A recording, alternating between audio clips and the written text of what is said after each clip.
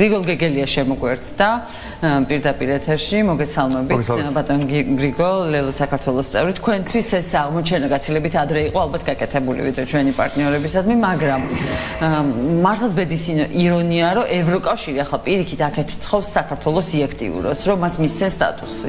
საქართველოს ხელისუფლება ყოველ ჯერზე ახალ რაღაც რუბიკონს გამოიგონებს ხოლმე იმისთვის რომ ეს ასე არ მოხდეს. აი ამ კონფერენციას ორი დღის განმავლობაში ესწრებოდით თქვენ აი რა დასკვნა გააკეთეთ რა შანსი რჩება რა ზელიან იმ ცირეთ ჩვენი მეგობრები საქართველოსგან რომ ეს ისტორიული ფანჯარა არ დაიხუროს მოგესალმებით, მოგესალმებით ჩვენს მაყურებელს. დავიწყებ იმით, რომ რა თქმა უნდა, ამ ხელისუფლების ერთადერთი კაფიო განცხადებული ნება არის ყველაფრის გაკეთება იმისათვის, რომ საქართველოს ვერ წავიდეს წინ ევროპული ინტეგრაციის გზაზე. ყველაფრის გაკეთება იმისათვის, რომ საქართველოს არ შევიდეს ნატოში. ეს არის რუსული დავალება და ყველაფერი, რაც გასული წლების განმავლობაში ხდებოდა და რაც დღეს ხდება, ამ ქვეყანაში უნდა გვესწოდეს არის აი ერთი დიდი სქემის ნაწილი, რასაც ქვია საქართველოს რუსიფიცირება.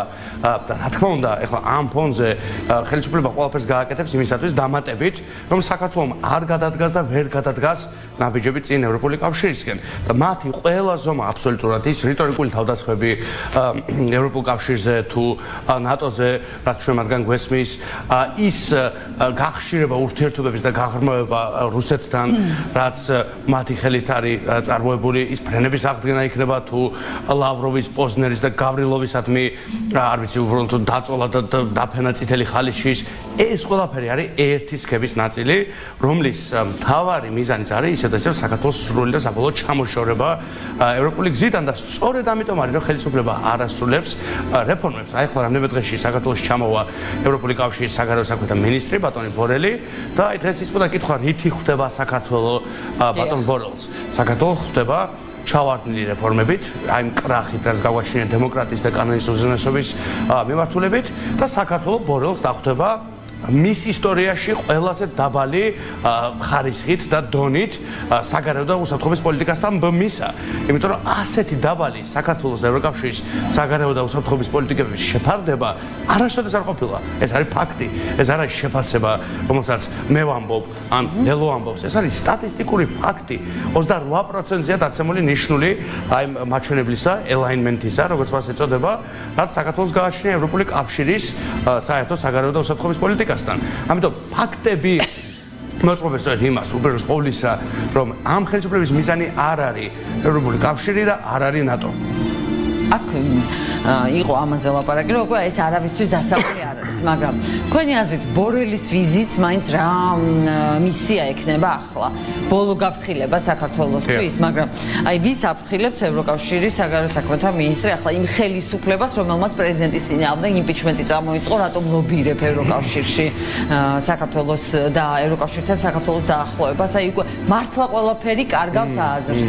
აქედან გამომდინარე ვკითხულობ, აი რას შეიძლება ელოდოს ახლა ევროკავშირი ამ ვიზიტისგან?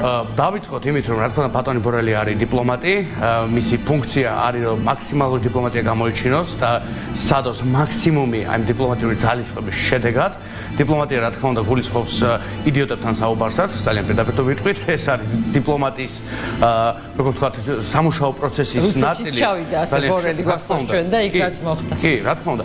ამიტომ დიპლომატს უწევს ძალიან ბევრი ატანა ძალიან ბევრი მოდერირება ძალიან ბევრი არ შემჩნევა ბატონი ბორელი ძალიან გამოსული დიპლომატია ის ესმეთი საგარეო საქმეთა მინისტრი იყო ახლა კი ევროპული კავშირის საგარეო საქმეთა მინისტრია.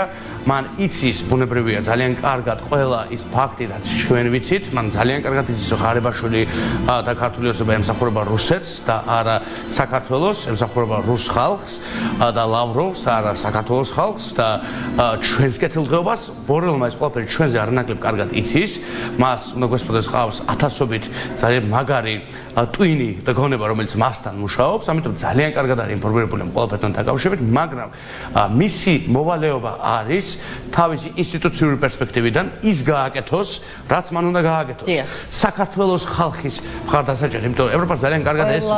ეს ამოწურვას ცდილობს. რა თქმა უნდა, კი, აბსოლუტურად ეს სწორიც არის, იმიტომ რომ ხო თუ თუ ჩავთვლით რომ მარტო ისე უნდა მოიქცე, როგორც ღარიბაშვილს ეკადრება, მაშინ საქართველოსთან ძალიან დიდი ხანი არავითარ საუბარი აღარ უნდა ყოფილიყო. მაშინ არც ერთ ქართულ პოლიტიკოს აღარ უნდა იღებდნენ ძალიან დიდი ხანი და მთლიანად ჩახსნილი უნდა ვიყოთ აი დღის წესრიგიდან, რომელთაც არ ვარ ჩახსნილი. და აი ახ არის მნიშვნელოვანი კითხვა რატომ არა ვართ ჩახსნილი სრულად და საბოლოოდ ამ დღის წესრიგიდან? მხოლოდ იმიტომ, რომ ჩვენ როგორც საზოგადოება, ქართველები, საქართველოს ხალხი, ვიმსახურებთ მეტს და ეს ევროპას ესმის ძალიან კარგად. ჩვენ მათ ვაჩვენეთ მარტში თუ რას ნიშნავს ნამდვილი ქართველობა. ჩვენ გამოვედით და ვიცავდით ბოლო წუთამდე თავისუფალი საქართველოს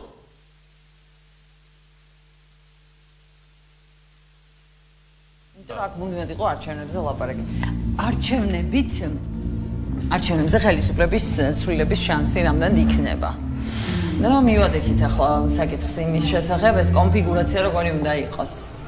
აა აუცილებელია იმისათვის რომ საქართველოს რაიმე შანსი ქონდეს ევროპული და ატლანტიკური წინსვლისა, აუცილებელია რა თქმა უნდა, რომ 2024 წლის არჩევნები ჩატარდეს ადეკვატურად. ამის გარეშე არც კანდიდატობა, არც მithumets წევრობის თაობაზე მოლაპარაკებები, არც ატლანტიკურ, ანუ ნატოში ინტეგრაციის პროცესი არაფრით არ წავა არსა წინ და ეს არის ძალიან მკაფიოდ უკვე ცნობილი.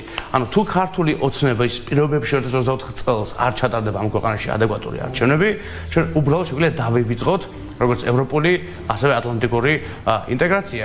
იმიტომ რომ ძალიან მარტივად სოფლიომ დაინახა რა არის ქართული ოცნება, ის არის გაშიფრული, ის არის შიშველი, ის არის უკვე აბსოლუტურად მხილებული როგორც პუტინის მსახური რეჟიმი. შესაბამისად, არჩევნები როგორც ყველაზე ფუნდამენტური გარანტორი დემოკრატიული ცხოვრებისა, როგორც ქვაკუთხედი, როგორც საფუძველი დემოკრატიული სახელმწიფოებრებისა, რა თქმა უნდა, იქნება ერთ-ერთი მნიშვნელოვანი კრიტერიუმი და ჩვენ გვესმის და მოდი ვუთხრათ ჩვენ საზოგადოებასა ჩვენ გვესმის საუბრები იმასთან დაკავშირებით რომ კანდიდატობის მონიჭების შემთხვევაშიც კი ეს კანდიდატობა იქნება ძალიან დიდი პირობითობით დატვირთული და პირობა იქნება ძალიან კონკრეტულად 2024 წელს არჩევნების ადეკვატურად ჩატარება რაც თავის მხრივ ჩვენ როგორც საქართველოს ხალხს არ მხოლოდ როგორც ოპოზიციას მე აქ ბევრად უფრო მეტზე მაქვს საუბარი ვიდრე ოპოზიცია ცალკეულად ხო და ოპოზიციურობა ჩვენ საქართველოს გვაქვს დასახსნელი.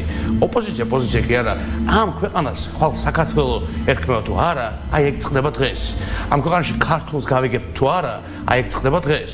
და ვის დიდ ქალაქებში ცხოვრობს განსაკუთრებით თბილისში დამეთახმება დარწმუნებული ვარ იმიტომ თბილისში საანტრელი გახდა ზოგ ქუჩაზე ქართულის მოსმენა.